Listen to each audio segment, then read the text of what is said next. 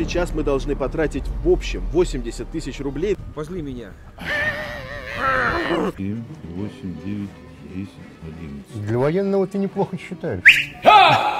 Одну минуту, у меня, по-моему, деньги вытащили. Походу, у меня в ваших лавках деньги достали. Подождем. С документа вырезано. Оставьте на обратный путь. Да, конечно, там печать, мне кажется, ее поставить, как бы не, не- не- сделать печать и поставить не такая большая проблема. бумага. Понятно, спорить не будем сильно.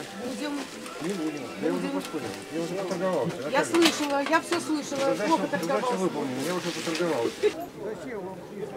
Что значит зачем? Купить хочу.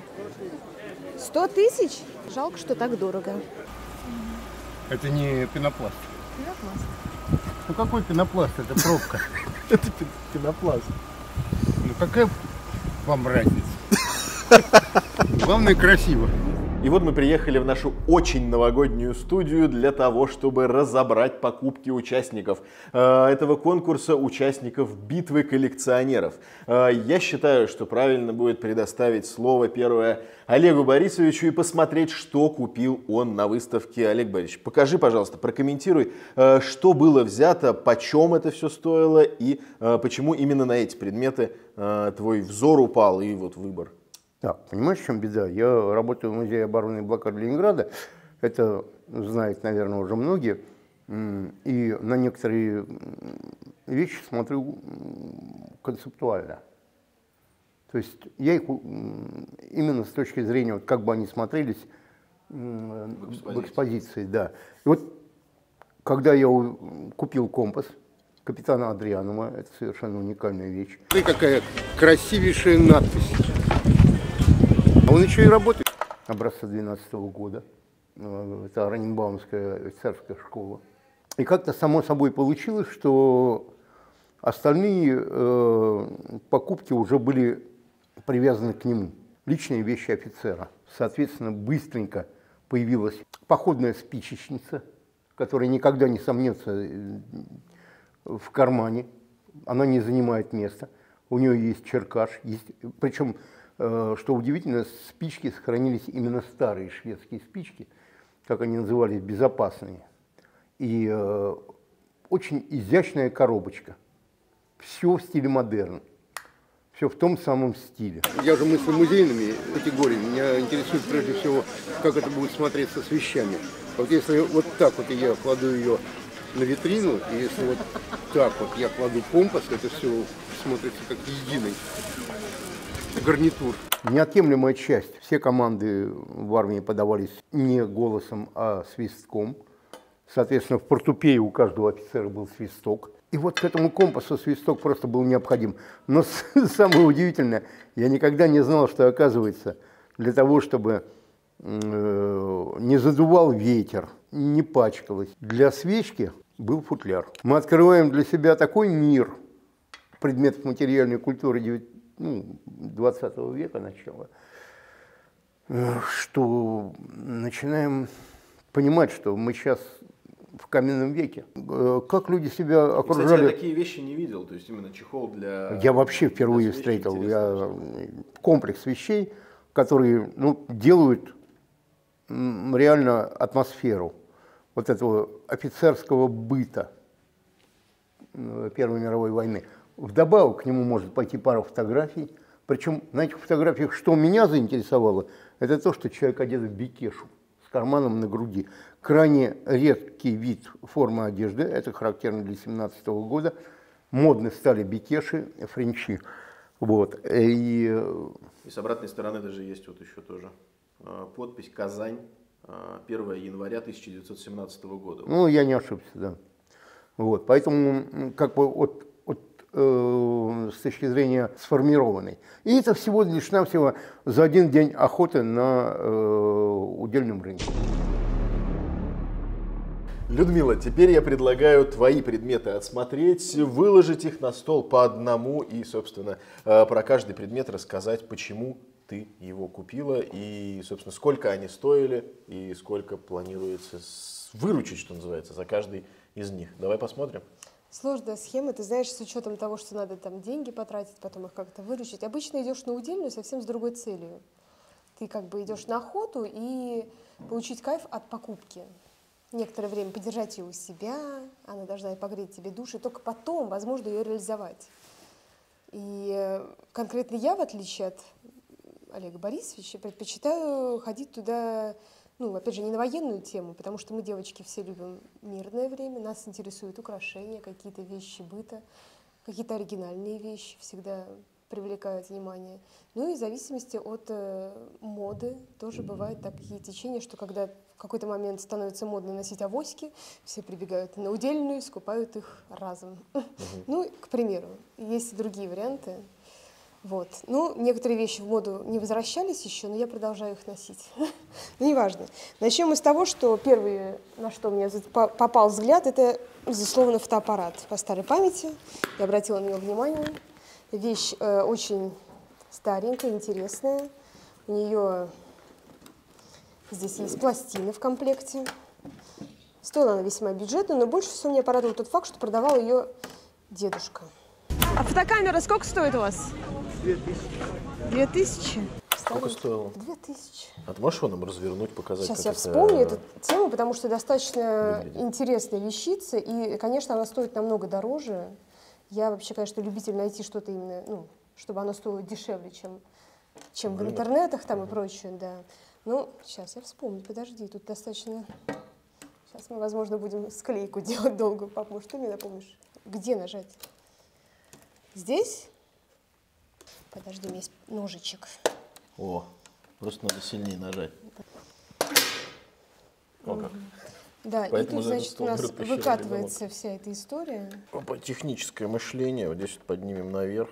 Видимо, здесь вот как-то она по полозьям должна ехать. Первый раз вообще с подобным фотоаппаратом я сталкиваюсь. И сейчас люди, которые умеют этим фотоаппаратом пользоваться, Будут просто в бешенстве от этой всей люди, которые умеют этим фотоаппаратом пользоваться, сейчас говорят, ха-ха, Алексей, Идиоты, да. да, еле-еле додумались, как, Как всегда, это есть сделать. лупы, Тем как не менее, правило, главный все результат. Да, Главный результат. Все перевернуто, тут все очень в хорошем состоянии, нигде никаких трещин, сама по себе коробка в очень хорошем состоянии. Тут И написано Ленинград.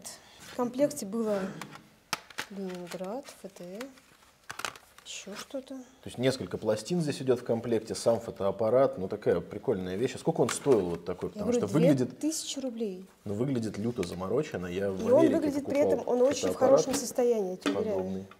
Для такой Смотри, здесь уровень, все дела. А, это Наверняка фотобумага. Какой год здесь? Плоская негативная фотопленка. А здесь 74-й, но аппарат пораньше. Такие просто уже в 74 наверное, не делали. Тут Примерно 25 написано год. Э, ранний советский период. фотокор номер один. И здесь, получается, два таких крепления под штатив есть. То есть его да, можно, есть боковой и еще горизонтально, вертикально. вертикальный. Вот здесь, да. да, снизу. Давай эту историю опять достанем. Ну, это очень круто, я считаю. Ну, Именно прикол в комплектности, потому что ручка не Нет, оторвана. то я считаю, что еще и состояние само по себе, не говоря уже о том, что это тупо интерьерная вещь, ну, с учетом того, как у нас сейчас все любят винтаж, как-то его лишний раз впихнуть где-то, чтобы он поучаствовал. Это интересно. Что еще? Самый Что же еще? последний интерьер, да не интерьерный, это функционально-интерьерный предмет. И мы уже в этом интерьере его зафункционировали. Да, мы уже попользовали, да. Так уж вышло, что он нам пригодился, поэтому у нас есть даже элемент. Это штопор э, с оригинальной схемой, гораздо более сложный, чем сейчас используется. Наверное, поэтому он не нашел своего отклика в современном мире. Это для перфекционистов, для любителей э, инженерной мысли вообще. Э, суть- Удивить на вечеринке свою вторую половину. или- Да, блеснуть умом. Да. Суть заключается в чем? Вы фиксируете его, опускаете этот деталь, вкручиваете его в пробку. Вкрутили, поменяли положение фиксатора и продолжаете крутить в том же положении, в то время как штопор выкручивает, ну, точнее, выкручивает вашу пробку. То есть всегда, получается, крутишь его по Крутишь часовой стрелке, и не сторону, нужно да. ничего вот этого, вот это вот все, шаром здесь вот это. Ну, не говоря уже, Походу. опять же, котики. Котики всегда продаются. Они же такие милые, да? Да, и можно практически в комплект даже. Но это очень прикольная штука. Это, А, да. причем а, так получилось, что Кэп видел, по-моему, этот же Да, самый. все ее видели, они э, думали, что она сломанная, но да, надо предмет. было мозг включить.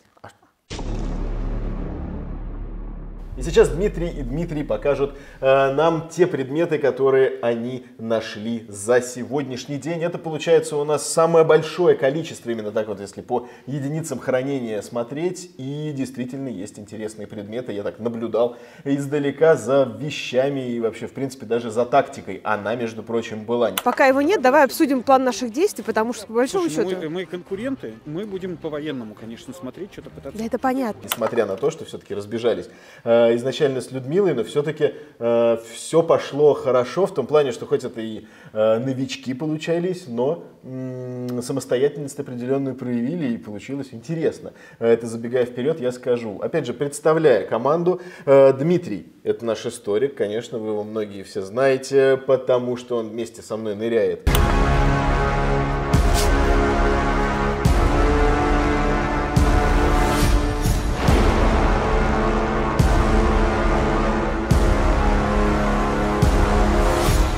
Под воду вместе с Кэпом мы ходим в водомоторные путешествия на втором канале, чаще вы можете его увидеть. А сейчас на основном канале еще и исторические справки с Дмитрием выходят регулярно.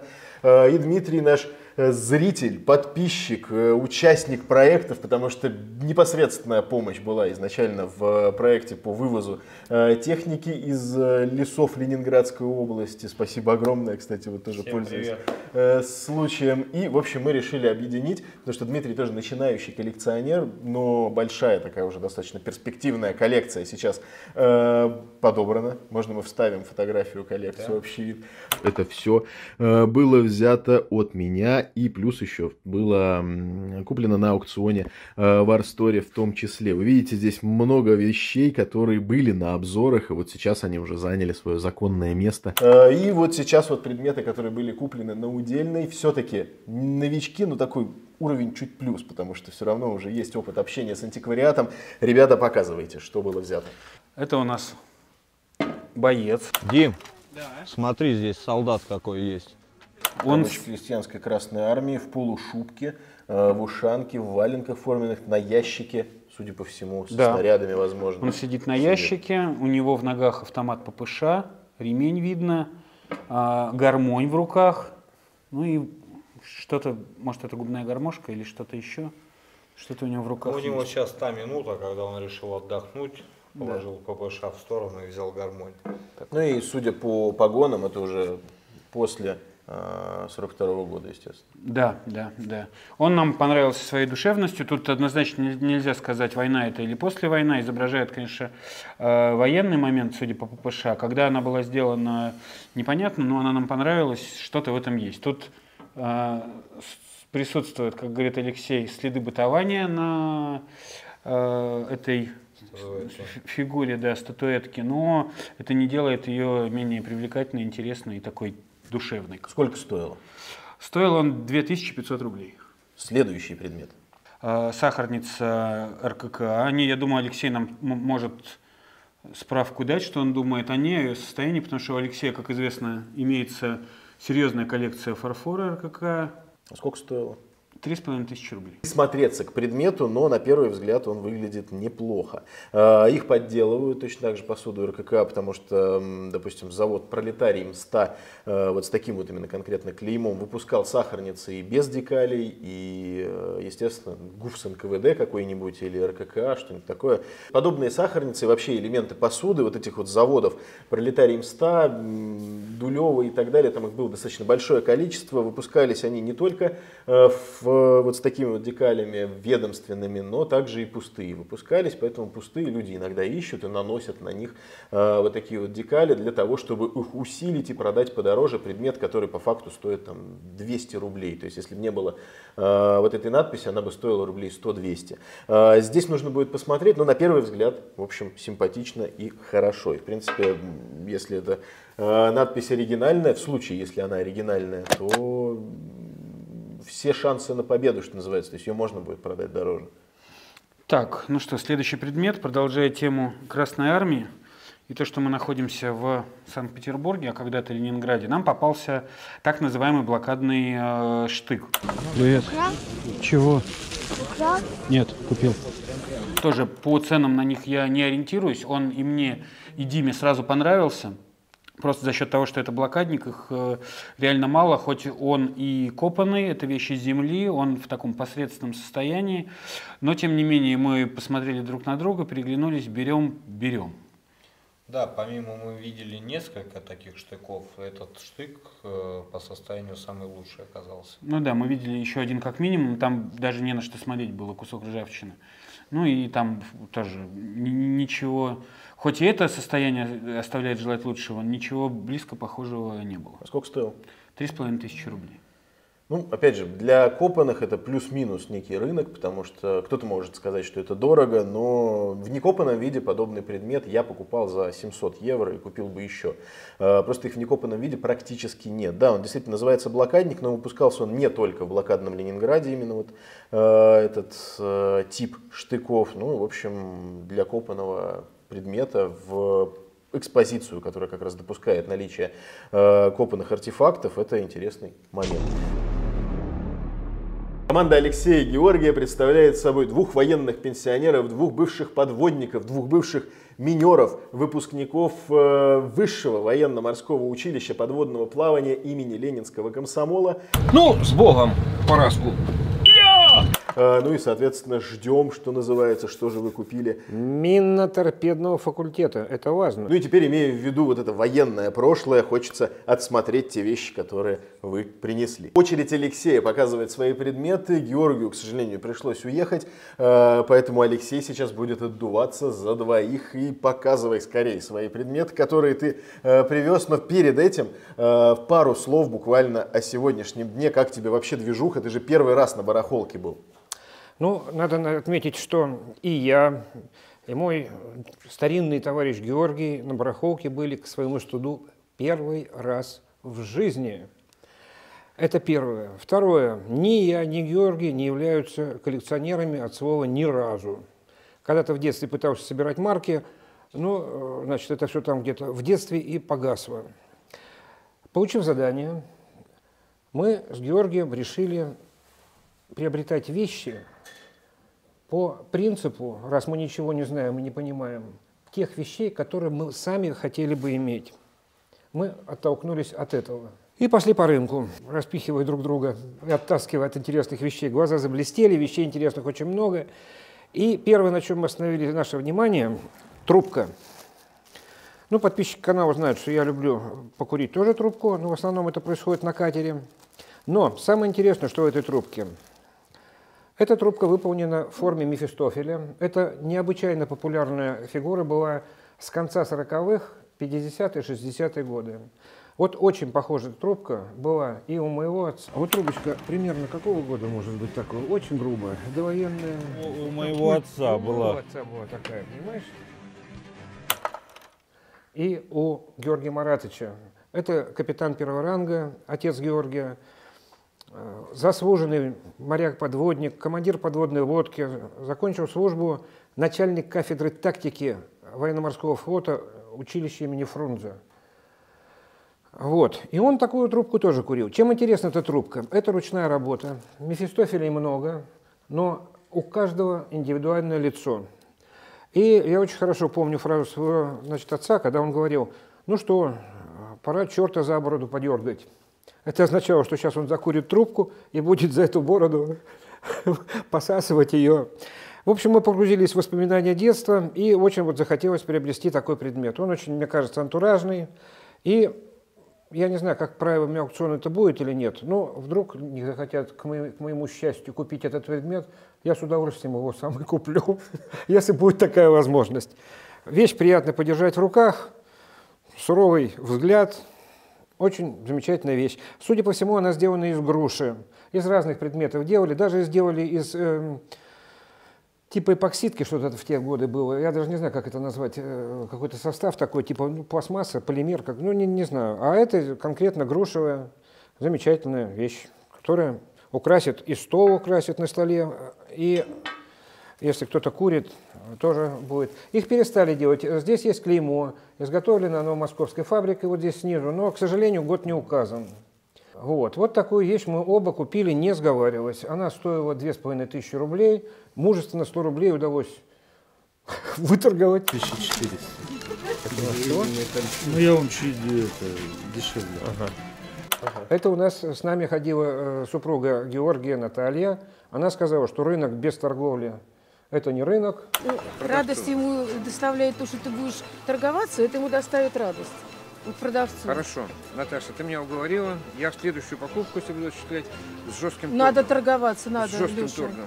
Правильно И- говорит. Да. И, значит, путем размазывания этих слез, значит, нам удалось 100 рублей скостить. И за 2400 рублей мы ее купили. Класс. Но здесь получается предмет э, и сам по себе антуражный, и такая у него высокая сентиментальная ценность, как говорят. Да, да, на высокой Западе. сентиментальной ценности. Примерно в начале 70-х годов в деревне Выра под Ленинградом открыли музей. Называется «Музей станционного смотрителя». Со школы нас возили туда, честно говоря, не очень хорошо запомнил, но лет 5-6 назад, проезжая через Выру, я заехал в этот музей, было время у меня, и попал на очень интересную экскурсию. Про музей рассказывать не буду, но расскажу, рассказ, перескажу рассказ экскурсовода, который мне запомнился. Значит, он рассказывал о колокольчиках, которые подвешивались под дугу. дугу. Колокольчики разные бывают, и стоимость их разная, и размеры разные, и звон разный. И меня зацепила история про колокольчики фельдъегерской службы. Они делались специальными, и они отличались по звону.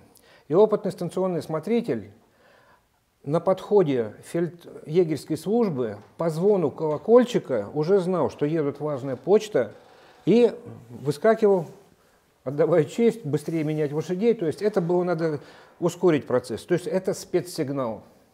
И вот такой спецсигнал сегодня я увидел на рынке.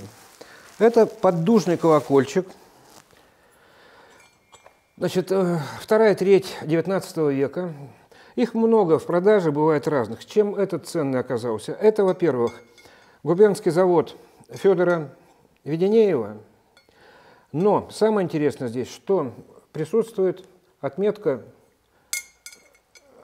профиль Александра Третьего и государственная отметка здесь, дата изготовления и прочее. На обычных колокольчиках такие отметки не делали. Этот колокольчик непосредственно фельдъегерской службы.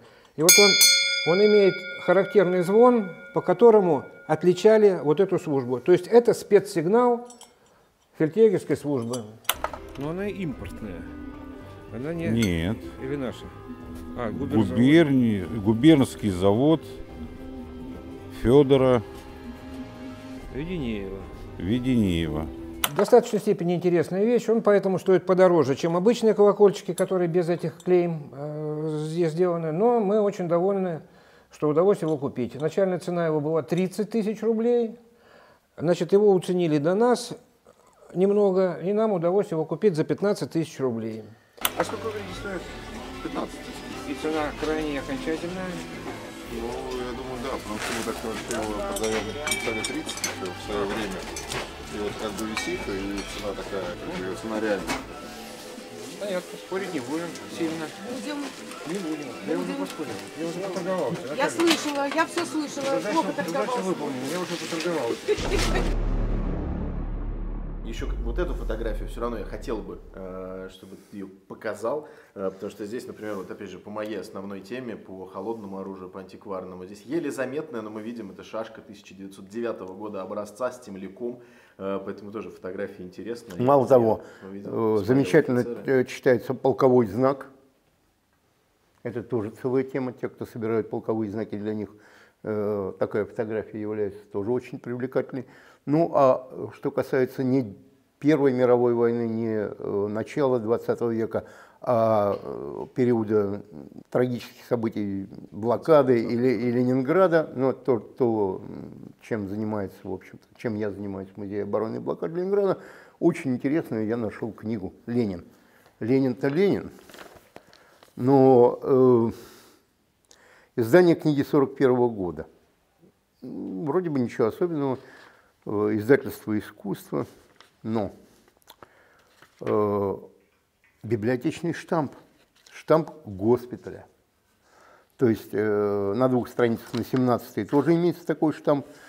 Э, то есть, хм, да даже энергетика этой книги. Ее читали раненые бойцы, привезенные э, на костылях, заходившие в библиотеку, бравшие э, ее в руки, хотя сама по себе книга «Ленин», может быть, не представляла бы большого интереса. Но опять же еще и был момент, я был свидетелем этой покупки этой книги, там была прям целая битва, Э, она развернулась вот здесь вот прям по центру. Леша, Леша, это, это рынок. На рынке мы должны воевать за свои права.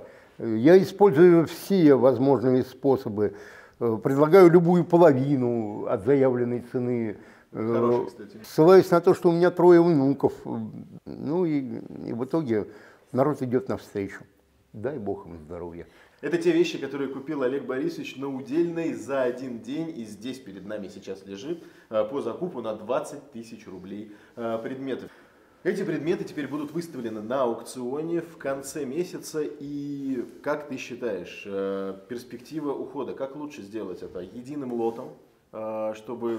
Ну, вот я считаю, что- можно сказать, это пошло, либо Я- разбить на части на какие-то. Ну, не знаю. Тут маркетинговые составляющие, в которые я не очень сильно разбираюсь, но э, Потому что все-таки это состязание мгм. ну, я бы, наверное, сделал бы лот. единый. Да, потому Книгу что отдельно.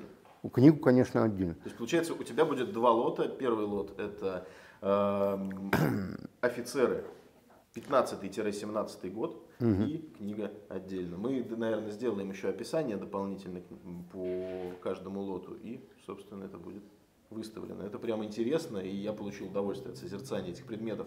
А что еще было куплено вне зачета, я подглядел. Очень купил куруиметр. Это необходимая вещь. Она и в дюймах, и в верстах, и в чем угодно показывает расстояние по карте.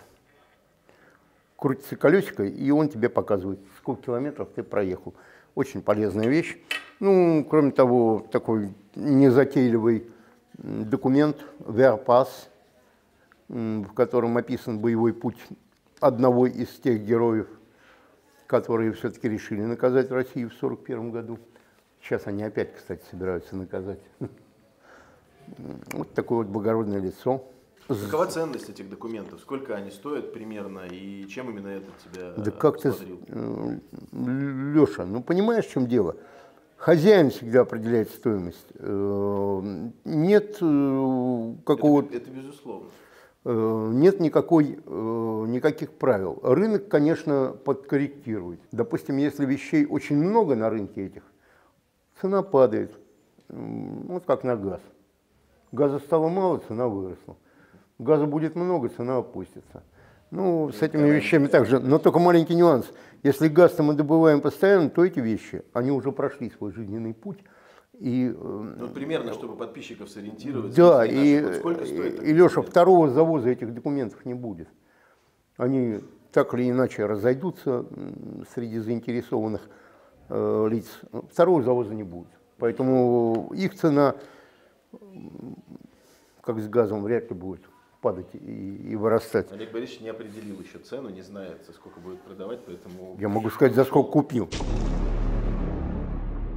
Э, Поскольку я хожу на удельную не ради того, чтобы обогащались барыги и прочее, моя цель на самом деле немножечко в этом плане э, гуманитарная, не знаю. Ну, в общем, мне очень жаль бабушек, которые там тусуются. Они-то, конечно, там тусуются, это здорово, это осо- особый их... Им запретили все секты, им запретили церкви баптистские и прочее, где они могли найти для себя какой-то приют, поэтому они нашли для себя удельную, и многие туда приходят тупо потусоваться. То есть они реально, ну, у них там тусовка. Но некоторые приходят туда реально, потому что им не хватает пенсии и прочего, чтобы прожить. И ты их хочешь Я с удовольствием покупаю у них иногда вещи, них. которые мне нафиг не нужны. Ну, это просто стоит, ну, не, то, не того, чтобы, ну, это, ну, Ну, это приятно, да. Во-первых, она не чувствует себя должной, что она что-то, ну, просто там выпросила. Она не просит милостыню, она продает. А во-вторых, я зачастую покупаю действительно хорошие, качественные вещи. И, ну, есть диалог, есть приятное общение. А бабушкам это тоже очень нужно, на мой Ну, взгляд. это как дополнительный позитив, можно сказать. Да, ну, собственно, у бабушки я купила вот этот, замечательный интерьерный предмет. Лампочка же рабочая, как Она новая. Не, Она я у меня виду- дома, дома лежала. Мгм, Ну ладно, такое даже в интернете ты не сразу найдешь.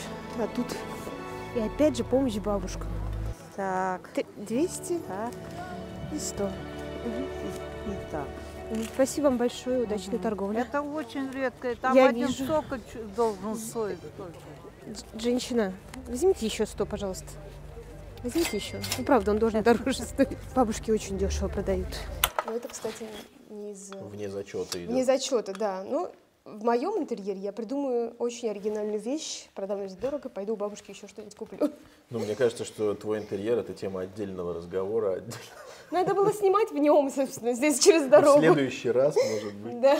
Вот. э, Далее, собственно, салфетки и прочее меня настроили на тему чаепития.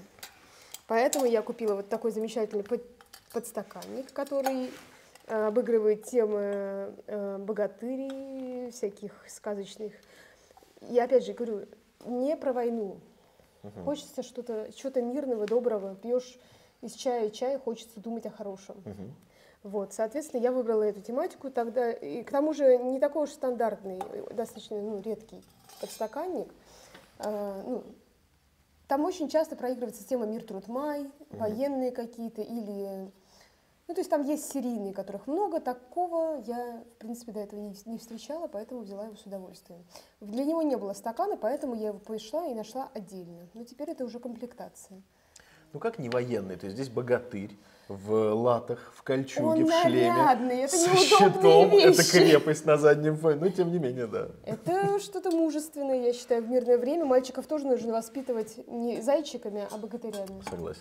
Надо их настраивать на то, что они все-таки герои. Независимо от того, помыл ли он посуду или, или сходил на войну. И Э, совершенно чудесная Как это сказала бы Элочка-людоедочка? Да, э, это ситечка для чая. Очень удобная вещь, потому что ты его зачерпнул, ты его заварил, и ты его высыпал. Оно не требует каких-то лишних... Ты можешь одной рукой все это делать. Таких штук действительно много. Я знаю, что это не уникальная вещь, но она действительно в своем роде удобная. Ну, стоит отметить, что сейчас в Скандинавии, в частности в Швеции, э, люди даже сейчас в ресторанах, в кафе как раз подают именно вот такими вот ситечками. Опять же, э, чай, экологично, да. Да, потому что они как раз на экологии там э, немножко двинуты, и у них это очень популярно, они как раз вот в пакетах чай дают редко. Мгм, В основном вот именно как раз многоразовыми такими ситечками. Согласна, это, опять же, в этом смысле я тоже абсолютно обеими руками и ногами за. И это что- получается такой сразу же комплект. Да, это еще не все, подожди, потому что поскольку я после этого обнаружила еще несколько, несколько, ну, удельно, по всей удельной, э, таких вот предметов, это может использоваться как блюдечко для каких-то конфет или прочее, либо для пепельницы, как кто как курит и прочее. Но это тоже богатырская тема, она, в принципе, может пойти в комплект, благо это надо все отмыть, чтобы оно все смотрелось одним единым фронтом, одним комплектом. Но, опять же, богатырская тема, чтобы для поддержания комплекта.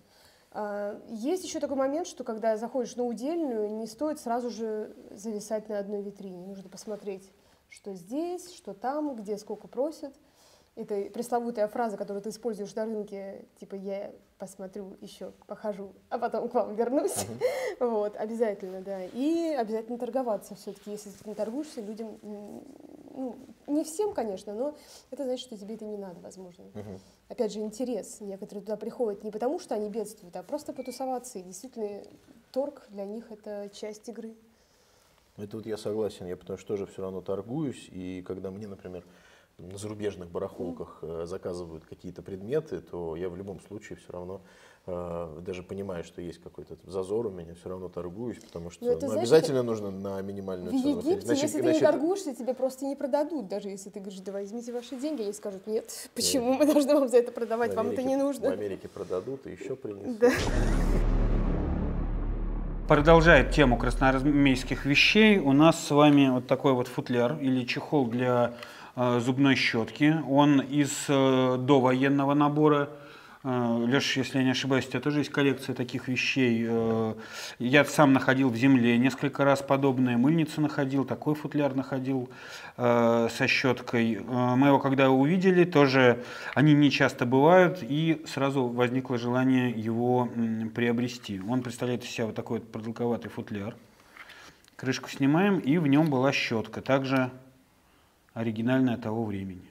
Ну, щетина осталось, следы ее. Ну, все-таки не зубы чистить. Ну да, да, да. да, да, да. Со следами, бытования. следами бытования. Интересный тоже набор, э, потому что вот такие вот наборы, так называемые э, офицерские, ну, конечно же, они полагались и солдатам, потому что гигиена в рабоче-крестьянской Красной Армии была поставлена на высшем уровне. Э, И вот такие вот наборы прилагались к НССРу, штатному, опять же, и это не какая-то вещь, которая была только в тыловых частях кадровых, Э, но эти предметы также попадаются на фронте, в том числе на Невском пятачке, поэтому такая вещь самая, что ни на есть, э, прям вот штатная и которая использовалась, ее можно прям назвать фронтовой. Поэтому мне всегда такие предметы нравятся, я однозначно одобряю этот выбор. И по цене тоже. Сколько она вышла? Ну, здесь ценничек видно, э, был 3,5 тысячи рублей. Мы на многие предметы практически не торговались, в отличие от наших э, коллег, оппонентов, не знаю, как назвать, товарищей. Вот, но на- э, этот нам достался за 2800 рублей. Но здесь тоже есть возможность его продать дороже, потому что даже я бы его купил дороже. Э, Кстати, у меня такого нет, именно вот э, длинного. У меня есть мыльница. У вас, Алексей, будет такая возможность взять его дороже. Ради Итак. интереса, вот так, э, за сколько бы ты его купил? Ну, пятерку я бы за него дал. Вот именно за это. Мне потому что Да? есть этот цвет. Их самая большая проблема по цвету компоновать. Да, они зеленые, Да, голубые. да, да. Их там вообще всевозможное количество. Интересная штука. Следующий экземпляр. Давайте посмотрим Так, скорее. здесь уже, да, это тоже Великая Отечественная война. А, Переходим потихонечку к плоскостному материалу у нас еще будет. Это э, немецкая листовка э, середины войны, 42-43 год. Изображена на верхней части э, мирная идиллия, семья, у них все хорошо. А внизу инвалид, искалеченный человек, который просит милостыню. Ну и соответствующая надпись. «Стать хозяином или калекой, что лучше, выбирай». А, Ну и на обратной стороне э, агитационная да, надпись «Бойцы и командиры», «Безысходная тоска и уныние царят в вашем тылу» и так далее. «Долой Сталина, долой войну, да здравствует мир, переходите к нам, мы хорошо обращаемся с пленными, особенно с перешедшими на нашу сторону добровольно». Мы прекрасно знаем, как относились немцы к э, людям, которые в том числе и добровольно к ним сдавались, поэтому, конечно же, всерьез всю эту информацию воспринимать э, нельзя. Но как артефакт, э, в том, именно как раз э, того времени, но как артефакт и как документ эпохи, э, это, конечно, очень интересный экземпляр. И обратить внимание, то, что вот эти вот э, следы у него коричневые, это не просто какой-то, ну, какая-то влага на него попала или что-то еще с ним делали. Э, Это не что иное, как следы вышибника, следы вышибного заряда, который был изначально там внутри, в том снаряде, который прилетал на наши позиции. Вышибник срабатывал и распылял эти листовки, что называется. Вот э, такие листовки находятся на полях сражений, как правило, где-то в районе наших позиций, либо на исходных э, позициях немцев, где артиллеристы стояли, и вот потом в дальнейшем уже эти капсулы достают, вскрывают. Э, Есть даже кадры в интернете, как люди это делают. Поэтому отдельно еще, конечно же, спасибо тем людям, которые, можно сказать, спасли артефакт, нашли его где-то в лесу, э, извлекли, и вот теперь эти вещи как живое доказательство, как документ эпохи здесь есть. И вот, я смотрю, что можно даже оформить прямо здесь и сразу. Да, значит, ну, как известно, я также занимаюсь кейсами. Ну, вот так вот это выглядит. Вы э, можете брать, соответственно, плоскостной материал, убирать его. И самое главное преимущество, что его можно смотреть с двух сторон. Ну да, то есть если двухсторонняя какая-то э, вещь, как эта открытка, то ее можно прям интересно показать и не доставать постоянно э, для того, чтобы продемонстрировать обратную сторону. Интересный момент. Кстати, спасибо, Дмитрий, что вы захватили эту штуку. Следующий экземпляр. Так, ну, мы продолжаем двигаться по плоскостному материалу. Это у нас зачетная книжка студента техникума. Чем она заинтересовала? Вот Э, Первое, даже Казалось еще бы. не не спрашивая цены, я открыл зачетная книжка студента Гаценко приема 1 сентября 1940 года, и записи обрываются на втором семестре 40-41 учебного года. Соответственно, да, 40-41, первый семестр, второй семестр и все. Соответственно, э, да, у меня возникла мысль, что, наверное, в связи с Великой Отечественной войной это произошло. Не факт, что это так, но тем не менее. Дальше я открыл аттестат, здесь свидетельство на украинском языке, Харьковский институт, тоже 40 год, с оценками. И уже э, я спросил цену у продавца, мне сказали 100 рублей. Я подумал, что деньги небольшие, на весь наш бюджет мы могли бы купить 200 таких зачетных книжек. Э, Я ее купил. И уже потом э, здесь в студии, когда открыл ее еще раз посмотреть, я увидел, что здесь справка Государственный педагогический институт выдана, да, вот она, Гаценко Николаю Александровичу, потому что он являлся студентом, сдал экзамены и зачеты. Политэкономия, хорошо, Конституция СССР, основа марксизма-ленинизма, пятилетний план и школьная гигиена. Но в педагогическом институте, наверное, школьная гигиена это достаточно важный был курс. И, соответственно, еще одна маленькая справочка. Это у нас уже 47 год, после войны справка выдана гражданину Гаценко, в том, что он действительно родился в селе Плиски Черниговской области Бахмачского района в 1920 году. Справка выдана взамен свидетельства о рождении. То есть, ну, такие гражданские документы, не военные, но тем не менее э, зачетка обрывается в 1941 году, а в 1945 он э, поступил в педагогический институт. То есть Ну, скорее всего, жизнь была до войны, возможно, да. что после мобилизации, э, после демобилизации он э, пришел и вернулся к мирной жизни. Интересно будет посмотреть, кстати, на подвиги народа. Эту Да. личность. э, он мог быть в оккупации, а мог бы и Мог воевать. воевать. Следующий. Так, продолжая тему плоскостного материала, потому что он недорогой и достаточно интересный. Это книга Александра Сергеевича Пушкина, всем нам известна, Евгений Онегин. Все ее проходили в школе. На корочке написано «Автушенко 11А». Евгений Онегин, роман в стихах, художественная литература, м, Москва, 1936 год. И Ну, чем он заинтересовал, вот чем тронул? Потому что книжек-то много. У меня э, дома у мамы э, Пушкина «Капитанская дочка», тоже 30-х годов. Почему-то она ее прям ценит. э, э, чем-то таким у нее считается драгоценностью. Я, конечно, схватил этого Евгения Онегина. Он э, в... Наверное, заинтересовала тем, в первую очередь, что она 36 года. Да, да, да. а, и что все те предметы, которые Ну, такие, да. были произведены До до, войны, они, в до принципе, войны, интересны Да, были. они интересны. То, Привлекают что внимание.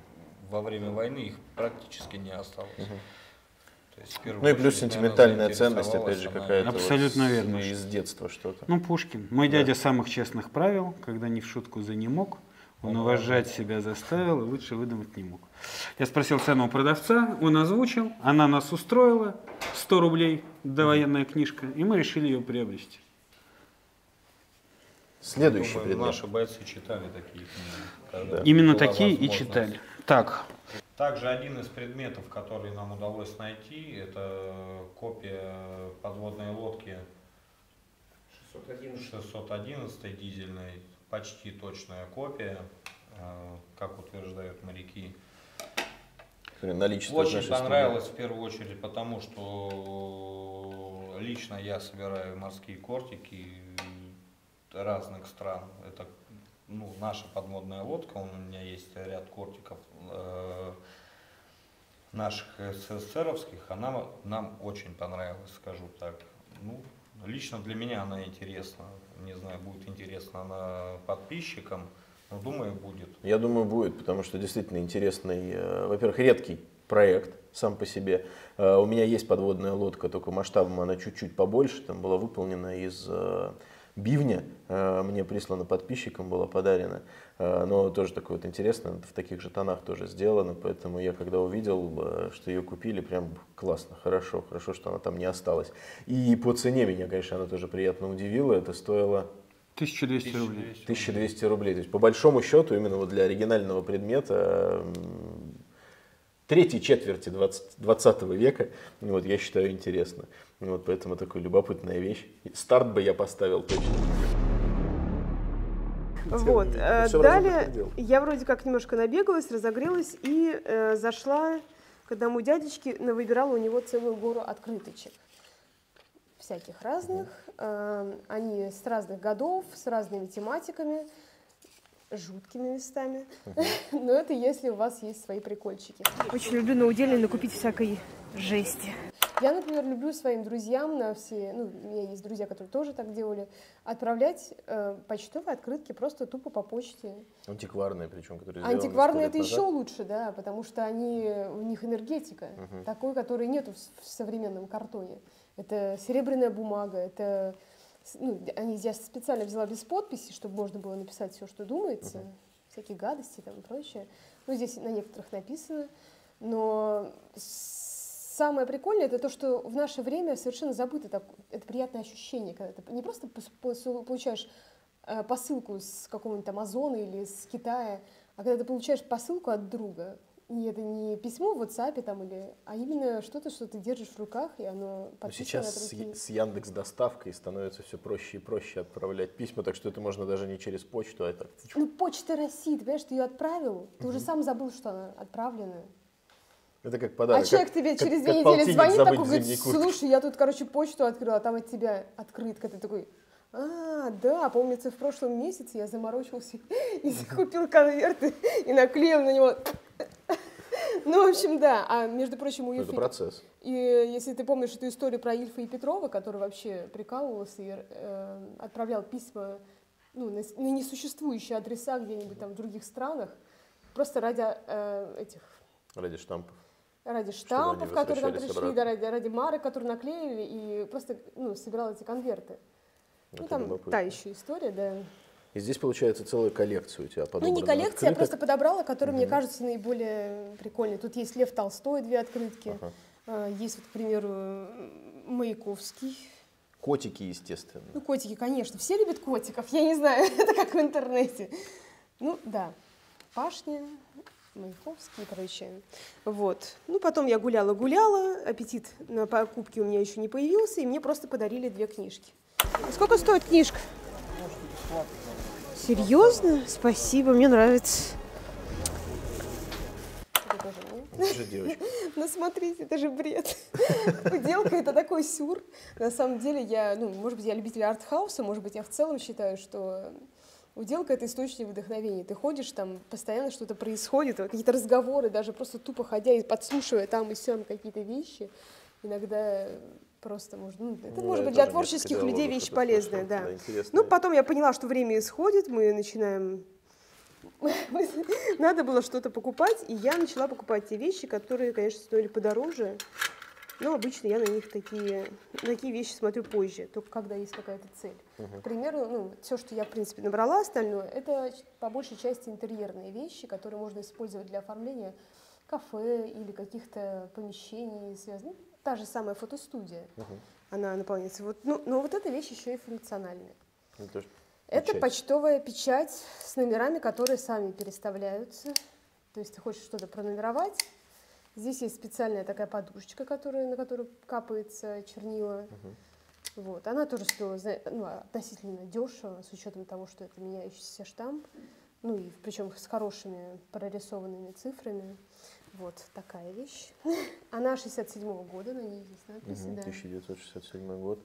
Город Пермь, промсвязь. Да. Ее функциональность не нарушена. То есть это не только интерьерная, но и функциональная вещица. да. Оригинально. Так, а что, ну что? Можно будет потом Далее я поиграть. зашла к дяденьке, который продавал инструменты, и нашла у него два предмета. Один для себя, другой, собственно, для этой продажи. Вот это такая вещь э, из Англии, э, очень хорошего старинное качество, э, для циклевки деревянных поверхностей, в Ну, такой частности, как для ми- реставрации мебели. микрорубанок такой. Ну, ты нет, и в зависимости от того, насколько ты ее... Мгм. Тут тоже есть всякие интересные надписи, мейдены и прочее. Э, В зависимости от того, что ты хочешь снять, то есть, ну, нет, конечно, дерево ты не снимешь ей, она должна быть хорошо заточена, но ты можешь хорошенько снять с нее лак или старую краску. Это для реставрации старой мебели вполне себе очень удобная вещица. Или если ты, например, какие-то видосы снимаешь на эту тему с твоей бородой и клетчатой рубашкой, нужно взять Отлично. еще топор и будешь Нормально. И поеду Нормальным в Канаду. По- по- по- Поеду да. в Канаду просто, а не в Штаты. комплект инструмен- инструментарий. Да, и там же я купила вот эту замечательную пилу, чисто по-петербургски. Я подумала, что А почему бы и нет? в комплекте любой уважающей себя девушки в сумочке должна быть Пила. пилка. Кстати, да. Но э, у этой пилки еще есть интересная деталь, а у нее есть клеймо. Мы еще не пробивали этот момент, но, возможно, она медицинская.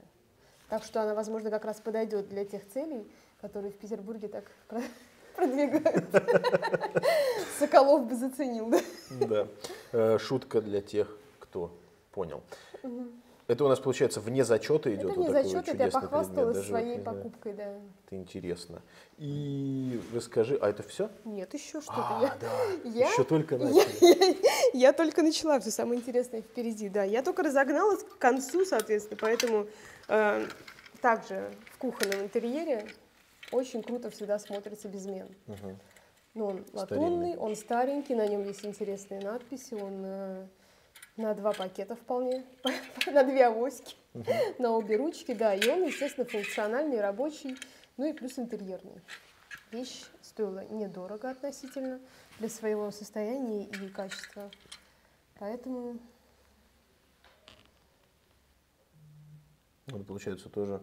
А, нет, российский, посмотри, Russian, не просто Равесов. мода была общая, да, на тот период, это, ну, То есть, получается, патент английский, судя по всему, а как раз он сделан был для России, то есть русский заказ, потому что мы здесь видим вот эту клейму Russian. Арусиан, да. Это интересно тоже. У Можно нас будет просто по-другому по взвешивают, Мгм. да. Ну. Чтобы по-русски обвешивать. Вот. Далее я решила тоже собрать небольшой комплект и э, нашла вот такой вот подсигар с оленем. Ну и вот опять же можно привести при- в божеский вид. Его специально для этого не приводили. Вот. Ну, резиночки там подвесить и прочее. Мгм. А, на, как это называется, охотничьи темы. Как правило, охотники курят, леса горят. Это такой небольшой вообще. Они все охотники, кстати, курят. Вот у меня есть Многие, охотничий билет, э, ружье даже есть охотничье, понимаешь? Многих ты убил. об этом мы не будем сейчас говорить. Но главное, я не курю. Пила не нужна? Сколько стоит? Шучу. Я не готова ее продавать.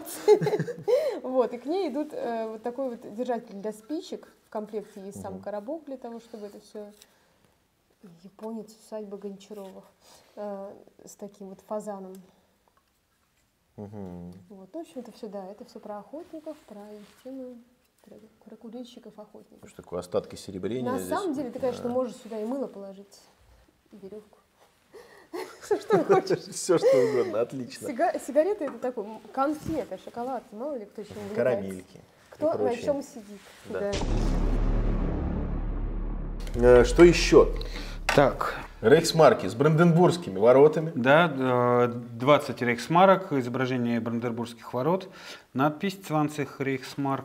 Состояние хорошее, да, орлы Вот со свастиками. Будет, можно Ну, будет в такая. интернете посмотреть, сколько они стоят, потому что, ну, вы не смотрели, кстати? Нет, мы не есть- смотрели, она нам просто понравилась, не мы? А, купили. сколько знаешь, стоило? как произошло на самом А деле? сколько Мы шли с Дмитрием, я ему задал вопрос. А, а знаешь ли ты все номиналы там купил э, Третьего Рейха? Он сказал, ну не совсем, надо поискать.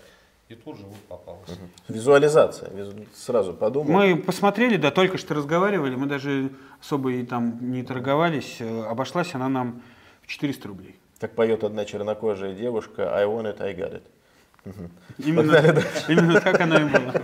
Какие-то документы, у нас уже кончалось время, мы... Деньги. И время, и деньги, да, нам нужно было подобрать что-нибудь.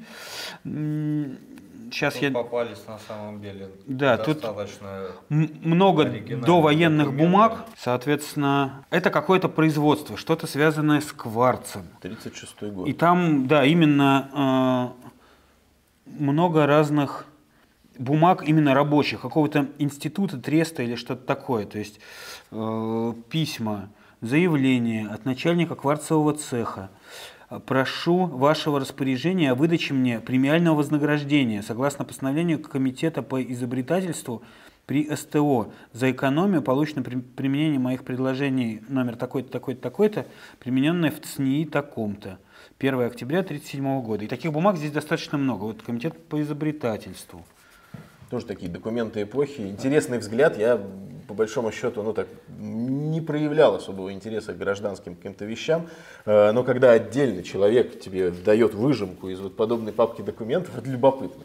Ну да, тут служебные записки, направляется вам там... Тут самое интересное в том, что это не один листок какой-то бумаги, это целое дело, это целая папка. А сколько стоила такая папка? Здесь все, вот я смотрю, Я не помню. седьмой год, ну примерно. Не помню. В три- Здесь вставку сделаем, потому что это было снято на Sony, она в конце где-то. она реально стоит. Рублей 300 она стоила. да. Ну, я где-то... До 500, Это вот в короче. последнем, да, мы вроде? Это в предпоследнем. Так, это у нас несколько предметов по войне. Тут рассказывать особо нечего. Гильза от 45-ки 39 года, краси- красиво обрезана, в хорошем состоянии, либо очень хорошая капонина, либо она не копанная. Вазочка под цветочки, скоро 8 марта. Покупаем, подходим. Ромашечкой. Да, нам она обошлась в 300 рублей. Мгм. 39-й год здесь клеймо интересное. То есть как раз 39-й год, во- возможно, она по финской войне была подобрана. Э, Вполне Либо по возможно. началу событий. Но я думаю, что она не копанная на самом деле. Вот Ну, так она вот, если смотреть, потому что и внутри, внутри она чистая, снаружи чистая. То есть такой, все шансы на то, что это именно был предмет просто домашнего хранения. Такое тоже э, бывает. И красный выборжец, я смотрю, две Ну, ложки, сразу э, возвращаясь к э, гильзе, пойдешь ты в магазин, купишь ли ты вазочку за 300 рублей? Ну, наверное, ну да, наверное, можно. Но едва ли дешевле. такая антуражная. Ну, не из гильзы. Не из гильзы точно. Не И, из 39-го. и две ложки, столовая и чайная, с- оба с клеймами завода «Красный Выборжец». Столовые достаточно часто попадаются, чайные э, пореже. Неизвестно, они там довоенные или послевоенные, но точно такие же ложки повсеместно попадаются на раскопках. Не так давно мы с Алексеем были как раз на Карельском перешейке, и вот точно такую же ложку выкопали. А, Она будет в одном из видео, которые будут в долгий зимний, весенний период. За каждую хотели по 800 рублей, две отдали нам за 1400. Ну, в общем, неплохая цена, тоже имеет все шансы. И в конце у нас Да, и последние два предмета. Это у нас документ и пряжка. А, Пряжка русской императорской армии. А, Орел, состояние среднее, она затерта, но она комплектная, то есть у нее не отбито ничего, не разогнуто, даже особо следов и пайки нет. Ну, она просто сильно ношенная, хотя в целом в достаточно неплохом состоянии. В глубокой патине. И стоила она? Наша. Мы ее купили за За 1200 рублей, да. Ну, несмотря на потертый рельеф, все-таки 1200 рублей. А, И завершаем мы э, документом. Мы его покупали в конце. Попался на глаза, уже на цену не смотрел, понимал, что денег него хватает, можно покупать. Э, На лицевой стороне военный совет Третьей армии Восточного фронта. Э, Ручкой подписано перьевое комендантское управление и Красная армия. Открываем. Мы видим здесь... Продавец сказал, что это на Первую мировую войну. Да, э, Алексей был рядом. э, э, Продавец сказал, Первая мировая война. На что я поправил, что Красная Армия не может быть на Первую мировую войну, но тем не менее. Значит, здесь у нас фотография, подпись руки товарища, подпись Климов, удостоверяю комендант штаба. Удостоверение номер. Предъявитель всего товарищ Климов Александр действительно состоял на службе в отделении связи полевого управления в качестве, написано, посыльного и зачеркнуто, курьера фельдъегеря что подписью и приложением печати удостоверяется. А, Значит, уже без еров, э, единственное, что э, твердого знака еще нет. А, Ну и дата соответствующая, 13 сентября 1919 года. Это, соответственно, э, фотография вклеена, и такая же фотография прилагается, да, маленькая. То есть это удостоверение личности, то, что человек действительно служил, то есть э, э, красноармейца в 19 году еще была полная неясность, кто-то где-то останавливает, спрашивает, ты кто, ты не контра, он достает и показывает, вот смотрите. Э, Тысячу или полторы, что-то такое. М- Может быть, за бумагу это и немного, но я подумал, что гражданская война а, не, не так, ну, не так много на нее документов, тем более бумажных. И как историку мне вот просто след эпохи, что человек в 19 году, больше ста лет прошло, его уже в любом случае нету в живых, а а он когда-то эту бумажку держал, хранил при себе, показывал, он по-любому ее предъявлял, ее там другие красноармейцы вот так вот смотрели, э, сверяли лицо и, соответственно, так вот, смотри, он это или нет, и, не, не похож. Э, И вот, э, наверное, любовь к истории заставила меня э, самого остановиться на этом предмете и убедить Дмитрия тоже Да, это достаточно редкий предмет. остановиться. Вот такой получился обзор вещей от э, команды Дмитрия и Дмитрия. И хочется отметить, что действительно здесь тоже есть некая линия. Э, эта линия прослеживается. Действительно, ребята решили покупать недорогие вещи, но создать разнообразие. И смотрится это действительно эффектно. И даже сразу же еще и оформление получилось э, сделать. Вот так вот, просто не отходя от кассы. Э, интересен э, для меня лично здесь, вот так вот, если смотреть, это, наверное, это гильза, это э, футляр для зубной щетки. Подводная лодка, безусловно, антуражная, да и вообще документы тоже интересно было бы э, изучить. Огромное спасибо за эту подборку. Как вам вообще вся движуха, как вам сегодняшний день, расскажите. Так, ну, э, сначала я скажу, я на удельной был, но последний раз лет там 12 15 назад. Э, Поэтому интересно было, это целый мир, это определенный социум людей, которые продают, лю- людей, которые покупают.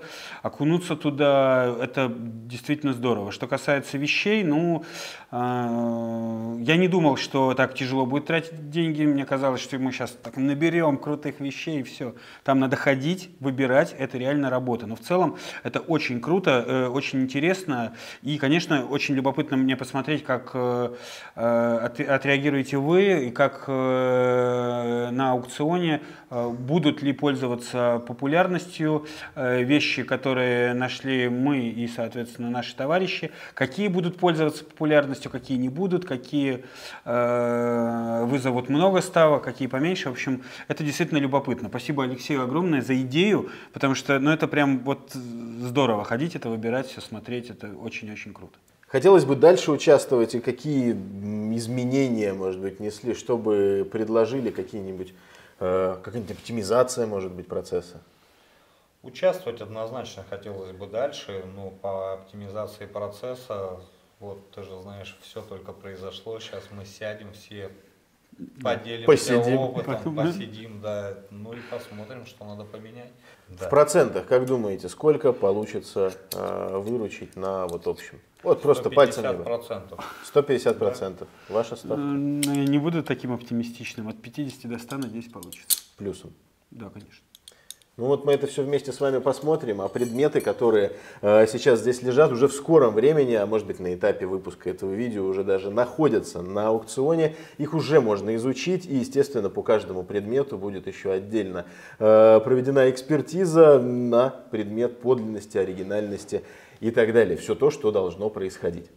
Ну а теперь пора в студию пригласить Кэпа Алексея и Георгия, команду э, двух военных пенсионеров-подводников, которые сегодня тоже первый раз были на удельной, первый раз в жизни были на блошином рынке. На этом обзор наших конкурсных покупок э, заканчивается. Теперь мы будем изучать материал, теперь мы будем его фотографировать, готовить к выкладке э, и, конечно же, обсуждать то, что с нами произошло за последнее время, потому что это первая серия такого вот проекта, можно сказать. Э, первая вот эта вот задумка, которую получилось осуществить вот здесь и сегодня. Э, было тяжело, потому что никто из нас вот в таких вот э, вещах не участвовал, было просто свое какое-то понимание э, и, можно сказать, такую творческую подачу мы продумывали вот буквально так вот в моменте. Тем не менее, я считаю, что получилось интересно. Ждем обязательно, конечно же, вашей обратной связи.